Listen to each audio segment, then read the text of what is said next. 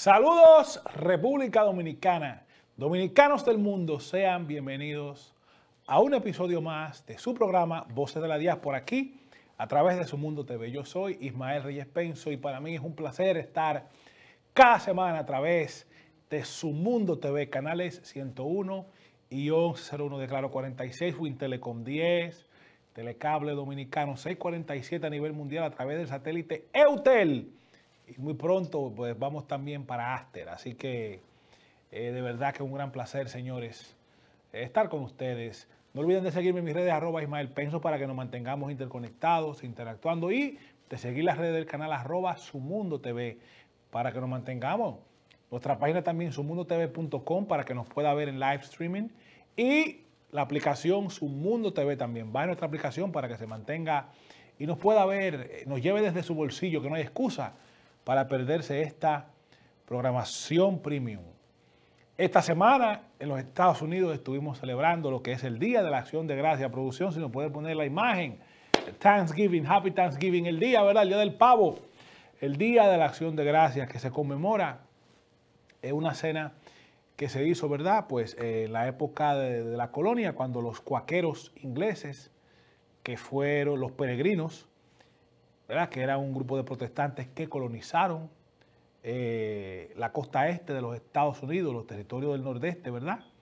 Eh, Massachusetts, Nueva York, eh, Pensilvania, que eran los lugares donde ellos abundaban sobre todo, como estaban en guerra con los, los nativos americanos, ¿verdad? Con los indios nativos americanos, los indígenas americanos, pues un día como hoy decidieron hacer una tregua y hacer una cena para darle gracias a Dios por la vida, por todo, y de ir eh, arreglando las, diferencias que había. Eh, antes de eso también pues se habla de que cuando los españoles llegaron, que los españoles llegaron primero a los Estados Unidos antes que los ingleses, ¿verdad? Eh, a los territorios sobre todo de la Florida, ahí fue donde llegaron. En 1538 se hizo una misa para dar gracias eh, cuando España conquistó la Florida y también cuando conquistaron los territorios de Texas también. Eh, son los primeros vestigios. Lo que pasa es que obviamente se celebra la tradición anglosajona, porque al final eh, los anglosajones, la corona británica logró quedarse con, los territorios que formaron las 13 colonias que dieron vida luego a la Unión estadounidense. Y por eso pues es un, es un país que habla el inglés, el idioma dominante es el inglés. Por todo eso, ¿verdad? Data de la independencia. Así que feliz día de acción de gracias. Yo siempre digo, mm, todos los días son días de, dar gracias, de dar gracias a Dios como cristiano y de dar gracias a la vida por, todas las cosas, por lo bueno y también por lo malo, porque lo malo si nos deja vivo, nos deja un aprendizaje y nos deja una lección y de todo se aprende.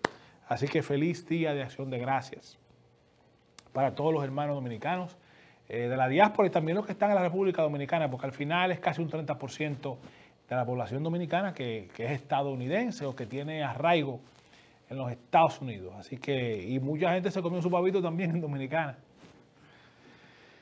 Pero como no todo es alegría, desgraciadamente, señores, eh, el cuento de nunca acabar.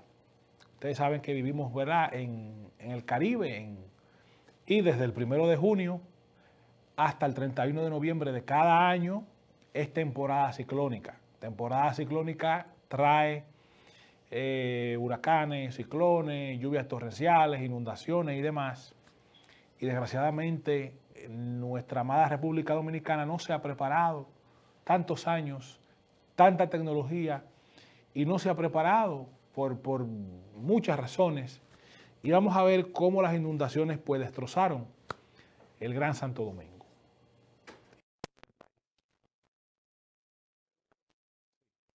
Tema del cúmulo de basura, por el tema de la urbanización, de la planificación. Ese es un tema que lo vamos a tocar en un programa más adelante que vamos a tener eh, pues eh, ingenieros y arquitectos que vamos a hacer un panel para hablar de este tema, porque en Dominicana ustedes saben que ese es un periodismo light, se hace un periodismo o se ejerce la comunicación, porque no todos son periodistas, para no tocar intereses y para no tocar los problemas como se deben de tocar. Y creo que el problema hay que hablarle claro, y no solo de denunciar lo que está mal, sino de, posibles soluciones, porque eso no puede ser. Cada temporada ciclónica la misma cosa. Llueve mucho, se inundó todo, se fue todo a pique. La gente pierde los ajuares. Y vivimos en un país donde ustedes saben, los vehículos están asegurados, pero las casas no. A diferencia de los Estados Unidos y de los demás países más desarrollados, que todo tiene seguro. Su casa se inundó, no se preocupe, que usted paga un flood insurance, un seguro de inundación, y eso, si hay que dar una casa nueva, se la damos. Dominicana no. La gente tiene que guamiársela y bandeársela como pueda. O sea, fruto del desorden sistémico en el cual hemos desarrollado el país, donde sea, hay un pedacito de tierra, una gente construye, tira unos platos para arriba y se metió ahí y ya. Y no hay urbanización, ni zonificación, ni nada. Bueno, la hay, pero no se cumple. Porque de nuevo, ustedes unos pesitos, el inspector del ayuntamiento de la localidad miran por otro lado, no lo molestan y nada funciona. Y así, ¿verdad? Eh, se vive la vida loca. 29 personas en esta semana, desgraciadamente, 29 hermanos y hermanas dominicanos y extranjeros también que estaban de visita algunos, fallecieron en todo el territorio nacional, por desgracia, con este mal tiempo.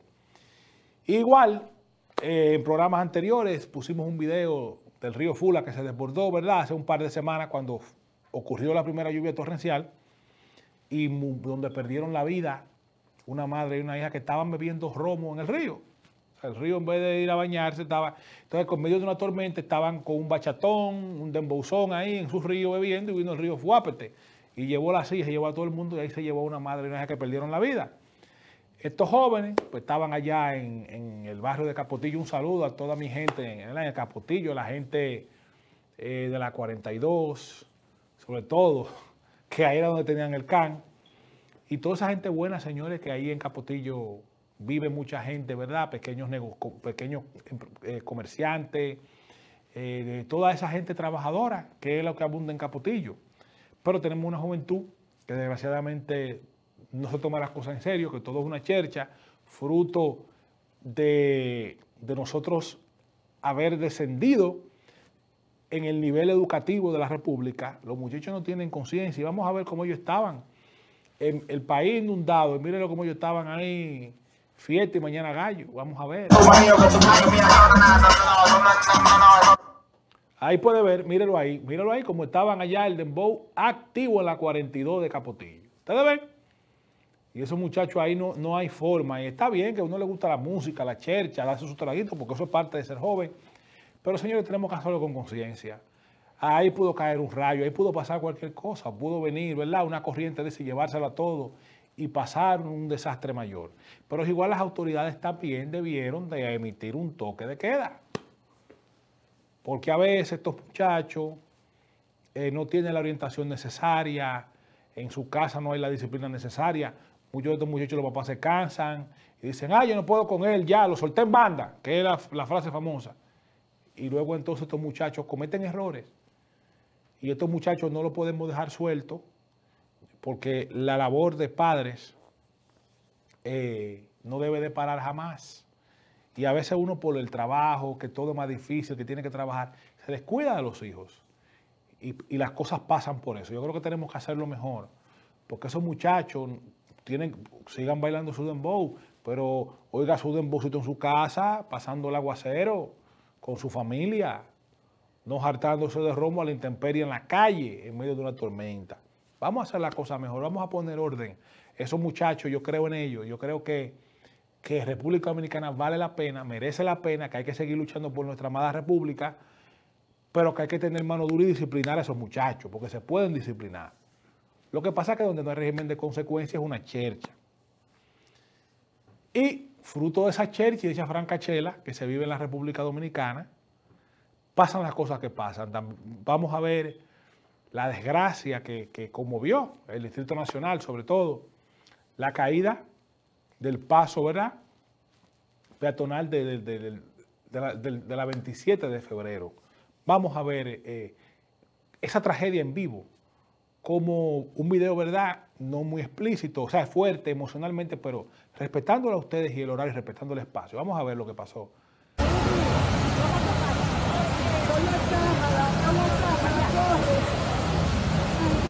Miren, miren cómo está ya desbordado todo. Ahí se cayó el muro, como pueden ver, se cayó el paso, miren.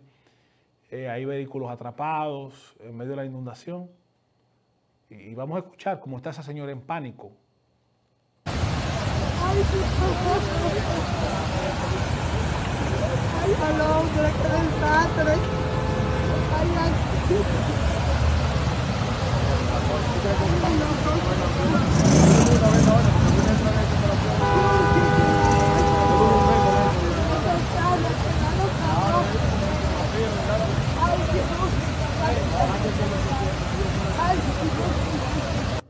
Ya ustedes ven qué desastre, desgraciadamente.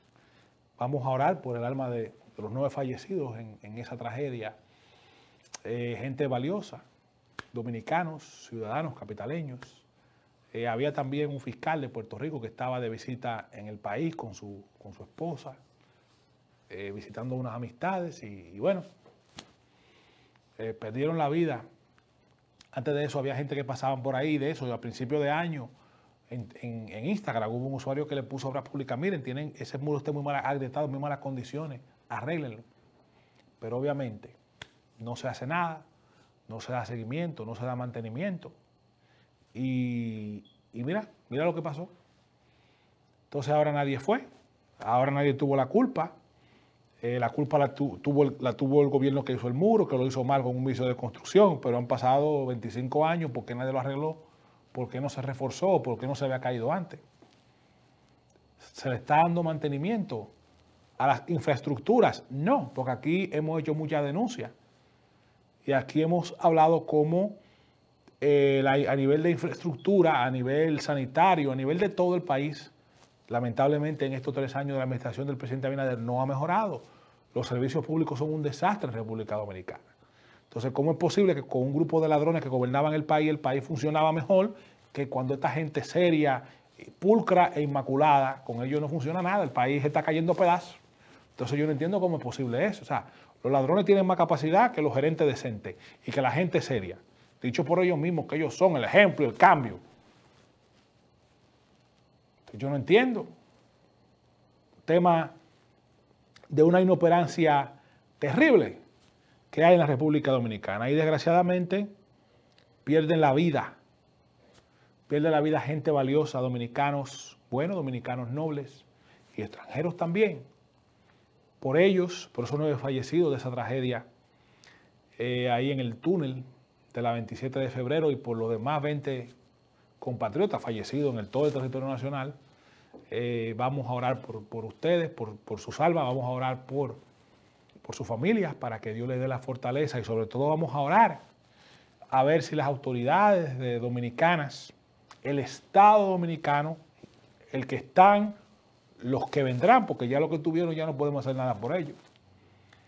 Si, si, si viene una política de continuación, de supervisión, de revisión, de no dejar las cosas a la intemperie, de no soltar nada en banda, como dicen los muchachos, porque cuando este tipo de cosas pasan, ahí va. Entonces los políticos nuestros haciendo una culpa, culpándose los unos a los otros, y sobre todo lo busca cámara y lo busca la e tirar. Ahora que ellos son los más patriotas, ahora que ellos son los más dominicanistas, ahora que ellos son los que más trabajan. Cuando nunca hicieron nada, cuando nunca han hecho nada, cuando el mismo desastre del drenaje pluvial que tenemos en la capital lo hemos tenido por los siglos de los siglos. Yo no recuerdo ningún alcalde haber hecho nada. Para mí, cuando Johnny Ventura, que fue el último alcalde, nuestra gloria Johnny Ventura, el último alcalde del Gran Santo Domingo, lo que hacen ocho alcaldías hoy, Johnny Ventura lo hacía él solo.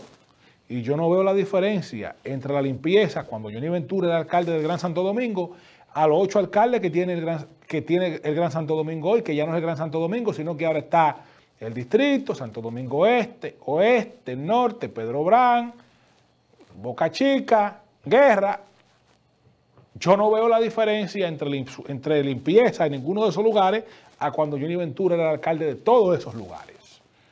Entonces hay que comenzar a hablar las cosas como son en la República Dominicana. ¿Para qué tenemos ocho benditos alcaldes que nos recogen la basura? Mejor tengamos uno solo como teníamos, que era el Gran Santo Domingo, que era Santo Domingo, y no tanta babosada de que Santo Domingo, la provincia de Santo Domingo, el Distrito Nacional, Cargos inoperantes que no sirven para nada. Que no sirven para nada. Entonces usted tiene municipio con 200 mil personas que tienen un alcalde y sucio. Y cuando Ventura era alcalde, cuando yo el alcalde, se recogía la basura igual y, la, misma sea buena o mala ineficiencia que había, no hay que tener tanto alcalde para, para hacer el mismo trabajo que hacía uno. Malo, pero estos ocho lo hacen igual de malo. ¿O acaso está más limpio el municipio de Santo Domingo Este ahora que hace 20 años? ¿O acaso el Distrito Nacional está más limpio ahora que hace 20 años? Mencionemos un municipio que esté más limpio ahora que hace 20 años. ¡Ninguno! Entonces la fiebre no está en la sábana. Mientras tanto, nuestros hermanos y hermanas dominicanos pierden la vida. Y seguimos en su programa Voces de la Diáspora, aquí a través de Su Mundo TV. Yo soy Ismael Reyes Penso. Y no, no olviden, señores, de seguirnos cada semana a través de los canales 101 y 1101 de Claro, 46 Win Telecom, 10 Telecable Dominicano. A nivel mundial estamos en el satélite Eutel, canal 647 en, su, en su Fire Stick Apple TV, su parábola satélite, ahí no ve Eutel. 647 para el mundo completo. También nos puede ver, estamos en todas las plataformas digitales, arroba Mundo TV, nos puede ver también en nuestra página web, submundotv.com y nos puede ver también a través de nuestra aplicación Mundo TV, en su Apple, su Android, usted la descarga y nos lleva en su bolsillo 24/7. No tiene excusa para perderse la programación premium de Su Mundo TV, que está marcando una nueva era en la comunicación digital de la República Dominicana. También, señores, tenemos nuestro periódico sumundodigital.com. Entre, dele, suscríbase para que minuto a minuto le lleguen las notificaciones de lo que pasa a nivel nacional como a nivel del mundo. Usted no tiene excusa de decir que no lo sabía porque está sumundodigital.com para mantenerlo informado. Y si usted quiere una musiquita buena, esa musiquita que purifica el alma, está nuestra emisora sumundofm.com, que es muy necesaria, sobre todo ahora en esta época, ¿verdad? Donde abunda tanta música mala. Sumundo FM, usted se va a relajar, se va a sentir bien con una programación eh, radial, cinco estrellas. Multimedios, Sumundo, marcando una nueva era en la comunicación digital de la República Dominicana. Y bien, señores, siguiendo con la temática del segmento anterior, de todo este temporal y esto esta tormenta que ha afectado a la República Dominicana. Yo quiero poner una foto que para esa foto yo me engranojo como padre. Miren esa foto de ese padre. Eh, no sé dónde fue, esa foto han dado mucho a las redes, ¿verdad? Eh, no sé dónde fue, no sé dónde fue, no sé quién es ese señor, ojalá pudiéramos saber quién es ese señor. Miren cómo él está cargando a su, a su niña, ¿no? A su bebé. Eh, ahí en esa ponchera, en esa palangana o ponchera, dependiendo de qué campo usted sea, ¿verdad? O de qué lugar usted sea del país, ponchera o palangana. Ustedes ven como en esa poncherita le está cargando a ese angelito. Póngame la foto, producción, otra vez. Mire ese hombre, que Dios bendiga a ese padre. Eso es lo que hacen los padres responsables. Él está cargando la bebé en, en su poncherita, en su palangana ahí, para que ella no se moje ni le pase nada, porque es una bebé para no exponerla, y él va ahí saliendo, ¿no? Entre la inundación, entre el lodo. Eso es lo que es ser un padre de verdad. O una madre en el caso también, ¿verdad? Las que son madres solteras, pero hablamos en este caso, ¿verdad? Como, como es un hombre, es padre, no, es padre. Esa foto, miren, yo estoy engranojado, esa foto me llena de, de dolor, de ver la situación en la que vive nuestra gente. Eh, eh, que no importa que tú seas rico, que seas pobre, obviamente mientras eres pobre más expuesto estás, porque si eres rico por lo menos se te hunde el nivel de abajo, sube al, al segundo, al tercer nivel, o a lo mejor tú vives en el piso veintitanto de una torre. Y en este caso no, no hay escapatoria, sobre todo la gente que vive en las zonas rurales, que parece que fue en una zona rural. Pero eso, eso también ah, me entristece por eso, pero también me deja dicho que hay esperanza, que hay esperanza porque hay padres, hay madres, en el caso de las mamás solteras, que dan todo por sus hijos y que miren, no importa lo que está pasando, ellos están ahí para, salvar a sus hijos, para salvarnos a, sus hijos, y, o nosotros, los que somos padres, ¿verdad? Para salvar a nuestros hijos. Y hay esperanza. Y yo creo que esa gente que nuestros dominicanos merecen la pena de que se, se desarrollen políticas no pensando a la hora de buscar votos, ni a la hora de figureo, ni a la hora de meterse en los patios a buscar votos, likes y votos, y más ahora en tiempo de campaña para decir que fulano anda con los pobres porque vino con 20 periodistas a hacerse fotos y ya es el que más trabaja para los pobres. Pero nosotros que, que, venimos, ¿verdad? Que venimos de los barrios de la, de, del centro de Santo Domingo, sabemos lo que, lo que se pasa en los barrios y cómo vive la gente. Entonces, creo que tenemos, señores, que, que, hacer algo, porque situaciones como la del derrumbe, si nos puede poner la imagen, eh, eh, como ese derrumbe nefasto, donde nuestros hermanos, nueve hermanos eh, dominicanos y hermanos extranjeros también que habían ahí, perdieron la vida, míralo ahí, la foto, eso es algo, algo, algo deprimente. Eso no, no debe de volver a ocurrir en la República Dominicana. Porque si tenemos que cerrar los desniveles en medio de las tormentas, porque tenemos que tener algún mecanismo, porque no podemos vivir así. Estamos en el año 2023, donde los satélites van a la luna, donde tenemos internet 5G, donde tenemos todo, donde el gobierno tiene el sistema Pegasus que te interviene en los teléfonos y sabe lo que tú haces sabe lo que tú no haces, te graba la llamada, te graban todo, saben tu geolocalización. Entonces, no podemos nosotros saber que el drenaje pluvial eh, eh, que, va, que se va a desbordar algo que, o que vino demasiada agua, cerremos los túneles, cerremos, hagamos algo por nuestra gente, porque es que definitivamente nosotros no podemos vivir así, a la brigandina, como dicen en, el barrio. Y aquí vamos a hacer una denuncia hoy, ojalá que no pase nada, pero vamos a hacerla porque yo sé que como eh, hay gente, ¿verdad?, del oficialismo que ve este programa para ya llevar chismecito. Eh, ojalá que lleven este chismesote. Vamos a poner un video de cómo está el túnel de la Núñez de Cáceres. Vamos a ver este video de cómo está el túnel de la Núñez de Cáceres. Llévenselo a Ascensión del INE, llévenselo al presidente, ustedes quieran. Ojalá y llévenselo para que tengan, para que trabajen por, por ese pueblo dominicano que está sufriendo y que sufre cada vez que llueve vamos a ver este video, llévenlo, ustedes lo, que les gusta llevar chismecito, porque el que no está en la gracia de este gobierno lo quiere bombardear. Miren el túnel como está. Mírenlo ahí. Eso es el túnel de la Núñez de Cáceres. Video frequecito. Esas son las condiciones del túnel de la Núñez de Cáceres. Ese tramo es más largo que porque fue el de nivel que se cayó y murieron nueve personas. Dios nos libre. Imagínense cuánta gente podría perder la vida en ese túnel de la Núñez de Cáceres. Miren la grieta cómo está, ¿eh? Ustedes están viendo, ¿no? Entonces, los chismosos que llevan y traen, lleven ese video a sesión del INE, llévenlo a Palacio, al DNI, lo que ustedes quieran, pero llévenlo. Para, que, para yo darme el gutazo de verlo trabajando en el túnel y así yo voy a poder y decir, mire, la denuncia que hicimos aquí, los chismosos a veces ponen a trabajar a los funcionarios lo están arreglando el túnel. Ojalá darnos ese gusto en el próximo programa de traer los videos de allá, de los bulteros funcionarios haciendo bultos que están resolviendo. Miren cómo, cómo está eso, ese túnel. Ojo, túnel de la Núñez de Cáceres. Miren cómo está eso. En esas condiciones. Como que nosotros somos perros. ¿Cómo que perros? Ese túnel lo hizo Balaguer. Van a desenterrar a Balaguer, le van a echar la culpa a Balaguer de ese túnel le van a echar la culpa eh, al arquitecto, yo creo que era Malagón que le construyó Balaguer, si no me equivoco, ¿no? Eh, van a desenterrar los huesos a Balaguer, echarle la culpa a Balaguer. Carajo, eso tiene 30 y 35 años ese túnel. A las obras se le da mantenimiento, señores.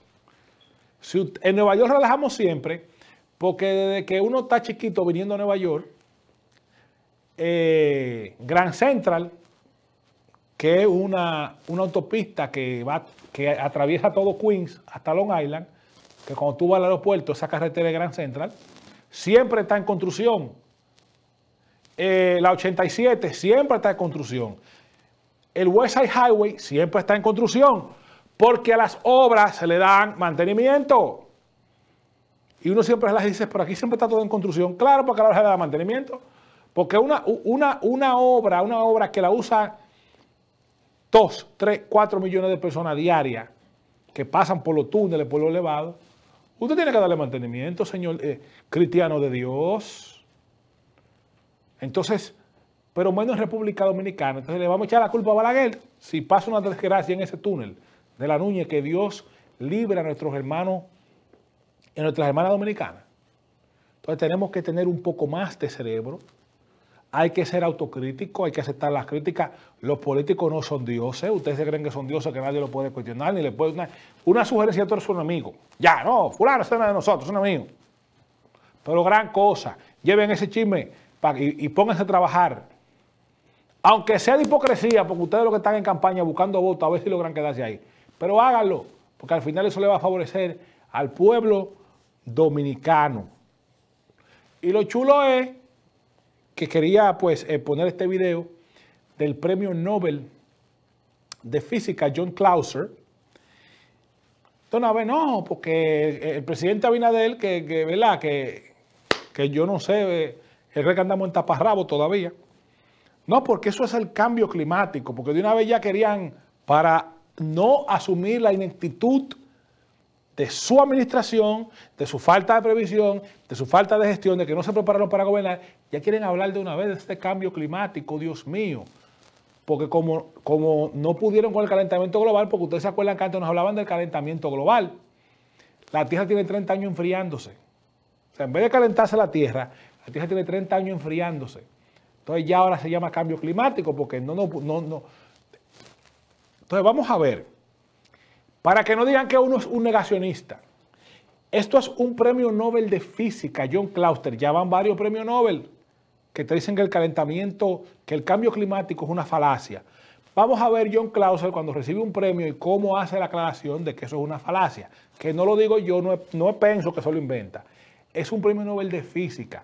No hay una postura científica. La ciencia no se ha puesto de acuerdo de que el cambio climático es real sino los políticos son los que empujan eso. Vamos a ver al Premio Nobel de Física, que no lo digo yo. Adelante, señor director. Without further ado, please join me in welcoming to the stage John Clouder, 2022 Nobel Prize winner in Physics. 여러분 큰 박수 부탁드립니다. I assert that real truth can only be found by observing natural phenomena. The current world is saturated with pseudoscience, with bad science, with scientific misinformation and disinformation, and what I will call techno-cons. Perception of truth frequently differs significantly from real truth. Moreover, given sufficient promotion and advertising, perception of truth becomes truth. Its, its promotion by commercial enterprise is called marketing. You can change truth. You can claim false observations if necessary. My favorite in this act is ChatGPT. It's very good at doing exactly that. It has uh, lots of man-made pseudoscience to copy and manipulate and emulate. It can lie and cheat even better than its human mentors. Recently, the Nobel Foundation has formed a new panel to address the issue called the International Panel on Information Environment. They plan to model it after the UN's International Panel on Climate Change, the IPCC. I think personally that they're making a big mistake in that effort because, in my opinion, the IPCC is one of the worst sources of dangerous misinformation. I believe that climate change is not a crisis. Real truth could be found if and only if you learn to recognize and use good science. It's especially true when real truth is politically incorrect and does not reflect political business aims or desires of leaders. Regarding climate change, the dominant process, I believe, has been misidentified by factors of 200. The lack of scientific knowledge allows science and pseudoscience to promote what I will refer to as technocons, political opportunistic aims. Very importantly, a referee must apply good calculus-based statistical methods, along with good common sense.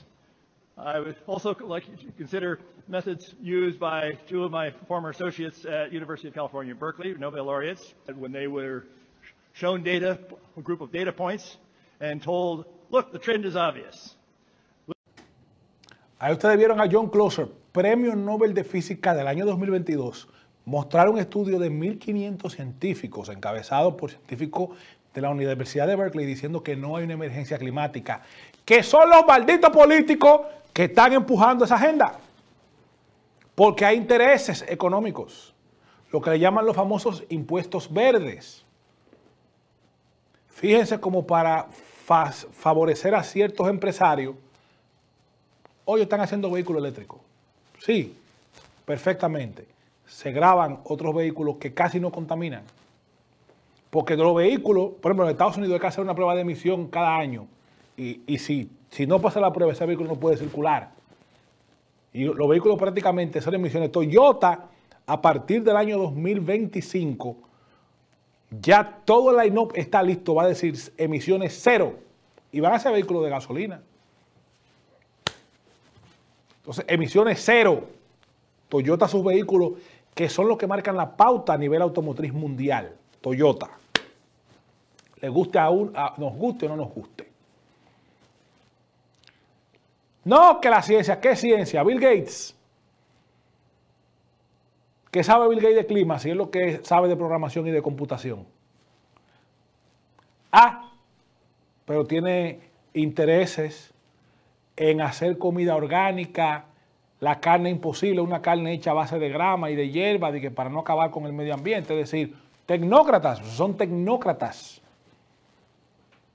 Técnicos que usan el brazo político, ¿verdad? Que son empresarios, pero que usan el brazo político para favorecer a sus intereses.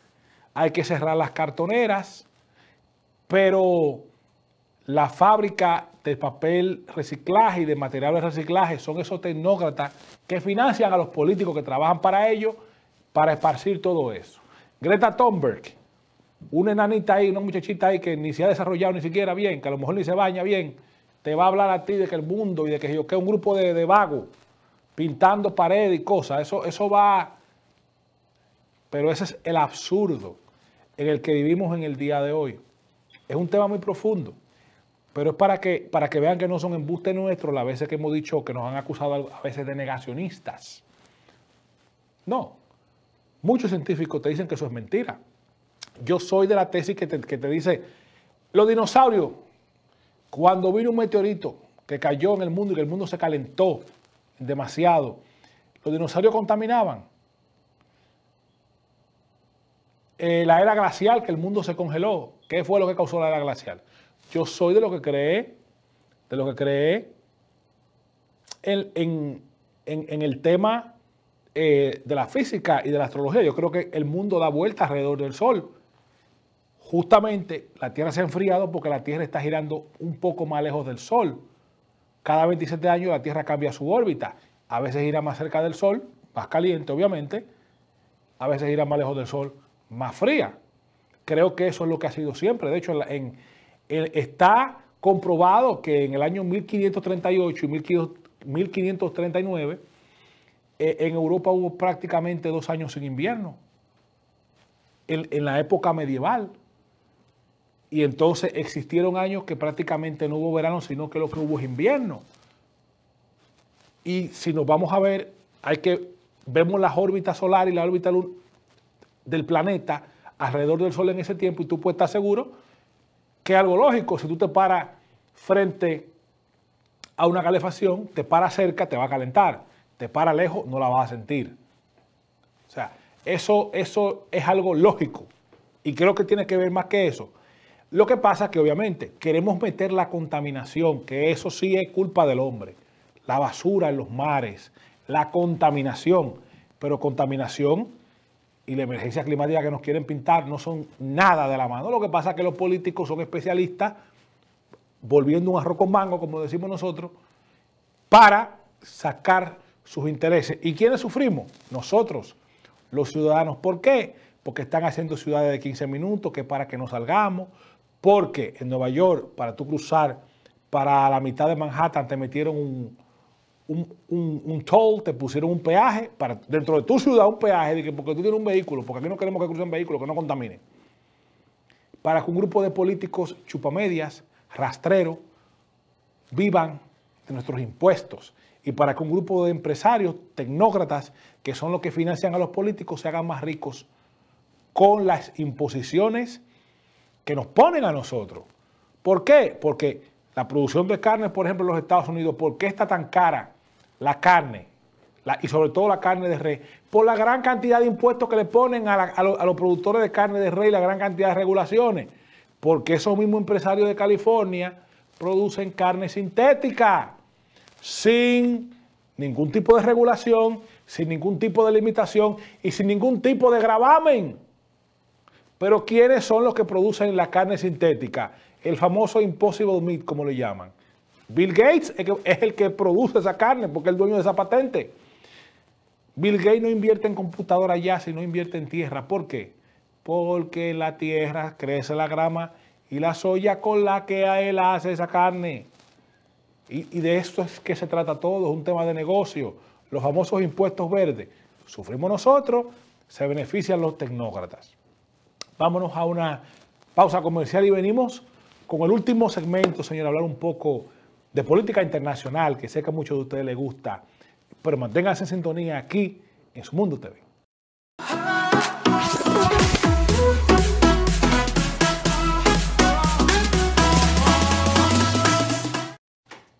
Y seguimos en su programa Voces de la Diáspora, aquí a través de Su Mundo TV. Yo soy Ismael Reyes Penso. Síganme en mis redes, arroba Ismael Penso.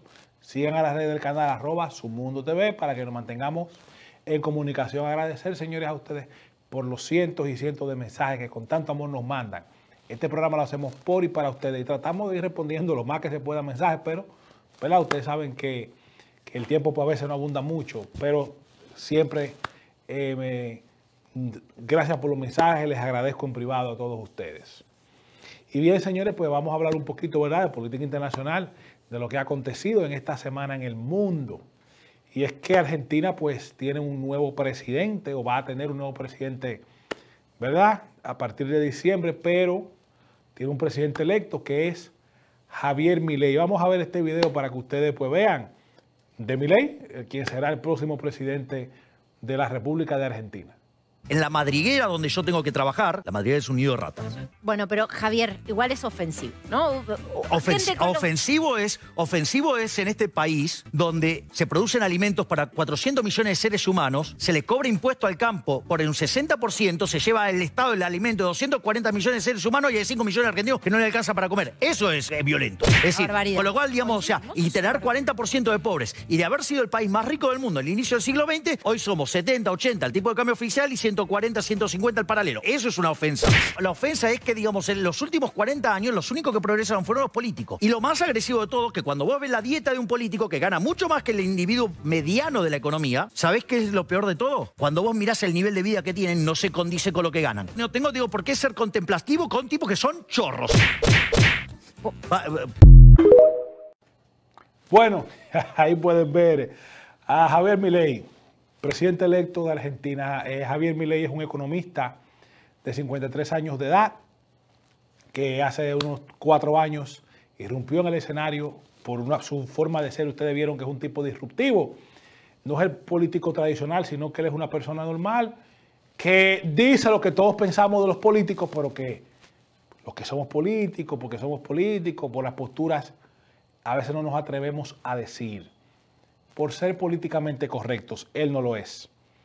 Y, bueno, su personaje logró despertar la simpatía de un pueblo argentino harto del kirchnerismo, ¿verdad? Eh, que tiene va- 20 años gobernando la Argentina, eh, parte, ¿verdad?, del, del nuevo progresismo, de los nuevos grupos de la socialdemocracia y progresistas y demás, y de la izquierda, que han sumido a la Argentina en una pobreza extrema, en una inflación. Solamente en estos dos años la inflación es de un 200. En Argentina en 20 años la inflación se ha vuelto de un 1.500% en Argentina. Eh, imagínese usted, y todo eso es un país de grandes recursos, con mucho material. Eh, su río principal es el río de la Plata, porque le cae pla- hay mucha plata, la hulla, es mucho acero, oro.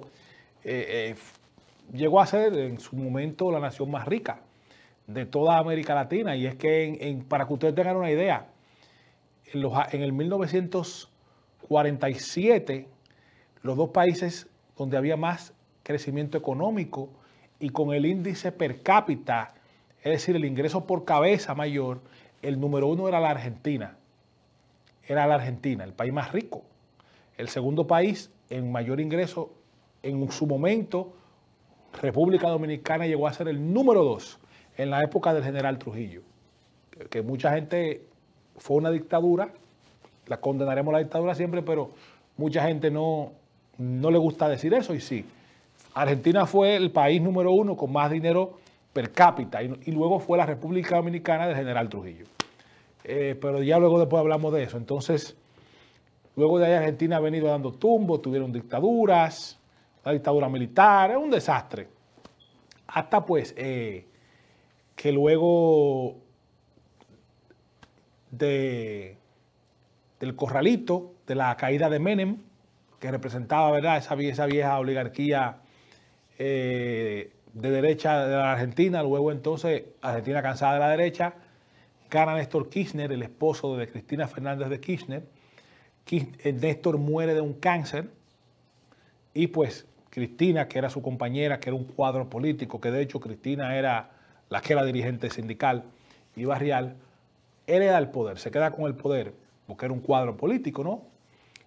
Que lo ayudó a, a llegar a la presidencia y ella pues actualmente funge como vicepresidenta de Argentina por corrupta, que eso lo hablamos aquí ya hace unos meses, quedó invalidada porque ella quería ser la candidata presidencial, pero quedó invalidada por temas de corrupción a aspirar a la, aspirar a la presidencia. Y pues entonces obviamente los grupos progresistas eh, fueron golpeados. Vamos a ver los resultados de las elecciones, como Milei eh, le ganó a Massa, que era el candidato de la izquierda. Eh, Milei le ganó por unos casi 3 millones de votos, ¿no? 55 a, a a 45 prácticamente, ¿no? O 56 a 44, ¿verdad? Que es lo que está más cerca, vamos a redondear. Y así quedó el balotaje de la Argentina, segunda vuelta, hay que decir, porque en la primera vuelta, eh, si producción no puede poner, para recordar lo que pasó en la primera vuelta, pues ahí podemos ver el candidato Massa, ganó la primera vuelta, el candidato del kirchnerismo y de la izquierda argentina, Milei, que se esperaba que ganara la primera vuelta, no la ganó, quedó en segundo lugar, pero Patricia Bullrich, la candidata de la centro derecha, sacó muchos votos y quedó en un 23. Eh, eso fue lo que pasó en la primera vuelta y el primer resultado fue lo que pasó en la primera vuelta entonces cuando Milei gana las elecciones. Bullrich, como era eh, de esperarse, Bullrich anunció su respaldo a Javier Milei. Eh, también el expresidente Macri, Mauricio Macri, de la derecha, anunció su respaldo a Milei y obviamente Milei pues eh, con el apoyo de la centroderecha, de los más moderados, de los libertarios y con el apoyo de los más conservadores, pues Milei entonces se alza eh, con un triunfo aplastante en la República de la Argentina y, bueno, y sobre todo por el apoyo de, del equipo político de Macri y de, y de Patricia Bullrich. Vamos a ver una foto es jocosa, ¿no? Que mi ley es el león y Patricia le dicen pato de cariño en, la Argentina. Entonces ahí ustedes pueden ver el león y el pato abrazados. Eh, ¿Verdad? La unidad entre los libertarios, eh, los, la centroderecha y los que son pues de derecha y los que son también de derecha radical. Eso es lo que representa esto. Y mi ley es genio y figura. Hay muchas cosas que mi ley va a lograr hacer. Mi, mi ley obviamente es un tipo muy inteligente y de hecho ya lo hemos visto como eh, Xi Jinping, el, presidente, el dictador de China, eh, lo felicitó y él obviamente después de haber dicho muchas cosas de China. Gracias, presidente Xi Jinping, también el presidente Biden, muchos presidentes lo han felicitado, presidentes de países que están gobernados por esa izquierda progresista que le enfrenta, y él ha tenido la decencia de responderle también. Otros como Petro, Picado, como el gobernador Picado, y yo lo he mandado a Freitusa. Pero es un tema de diplomacia también. Eh, vamos a ver, esperemos que, que por lo menos mi ley lleve a la Argentina al sendero del progreso, la recuperación económica, porque otra de las cosas que hundió a Massa, el candidato del kirchnerismo, es que Massa es el ministro de Economía de la Argentina y, él nada más le ha metido un 200% de inflación a la Argentina, siendo ministro de Economía por las políticas del kirchnerismo. Eh, y vamos a ver este video entonces de Milei, eh, de cómo él habla, de, lo que va a pasar a partir de ahora que él va a ser presidente, que no va a haber privilegios para los políticos. Vamos a ver este video. Los políticos van a tener que vivir la misma vida que vive el ciudadano común. Van a tener que internalizar el resultado. Van a tener que internalizar el resultado. Y si se mandan macanas, no solo van a sufrir los argentinos de bien, van a sufrir más los políticos. Van a tener que vivir como viven los argentinos de bien. Se les acabó los privilegios, se acabó la joda. Y esto solamente lo puede hacer un outsider, lo puede hacer un tipo que viene de afuera y no cualquier tipo de outsider, porque está llena la historia de outsider que se meten en estructuras preexistentes. Nosotros somos outsider, outsider, porque somos outsider sin estructura precedente, que la construimos para esto. ¿Para qué? Para sacarlos a patadas en el cubo. Bueno, ahí ustedes pueden ver, y ojalá que sea así, porque el modelo político feudal que tenemos en América Latina tiene que cambiar. Eh, un presidente no es más que el primero de sus iguales eh, y debe de ser para servir, pero el tema es que entonces hay ministros y sus directores generales que andan con seguridad, con escolta, con vehículos de lujo, que tú dices, pero ¿qué es esto? ¿Quién es este tipo? Yo no voté por él. Yo voté por el presidente que lo nombró, pero no por él. Y, y, como es en Europa, eh, sobre todo en lugares como Holanda, que no se vive con esa parafernalia que, le gusta vivir en República Dominicana y con esos complejos de jefecito. porque es muy bueno usted hacer la gran vida y vivir como un rey con los cuartos de los contribuyentes. Y, hay que comenzar por ahí. Eh, como dice mi ley, la casta, con la casta política. Eh, yo creo que debemos de repensar, porque creo que la política latinoamericana es un fracaso, los políticos latinoamericanos son un fracaso es un modelo feudal, arcaico, inoperante, grande, malo y caro. Entonces eso tenemos que, ver cómo las nuevas generaciones vamos a ir cambiando todo eso, toda esa payasería medieval que no funciona, que no ha funcionado porque nada más hay que ver nuestros países que son todos un desastre, no se salva ni uno, es porque ese modelo de caciquismo, de yo soy el jefe, de yo soy el ministro, de llegar los tulpenes, no sirve porque usted le está gastando el dinero a los contribuyentes, al pueblo que trabaja, a la clase productiva de un país, para usted darse el lujo y andar haciendo bulto y de que usted es usted y de muchísimos disparates. Entonces mi ley encarna los deseos de esa gente que son los independientes, que son los que deciden elecciones, que no se meten en la política porque encuentran que la política es una carrera para gente de baja calaña, para, para gente que, no le gusta trabajar, pero que sí le gusta robar y que le gusta hacer muchas cosas. Entonces, yo creo que la política es la ciencia más noble después de la filosofía, como decía Duarte, y creo que es la mejor manera en la que podemos servir a nuestros pueblos, a nuestra gente. Pero para eso tenemos que, irla adesentando y que irla cambiando. Yo no creo en, en, esta gente que dice la nueva política, como el gobierno actual. No, no nueva política. Ustedes no hacen ninguna nueva política porque ustedes se creen que son dioses. No han puesto la democracia al servicio de la gente a través de la participatividad.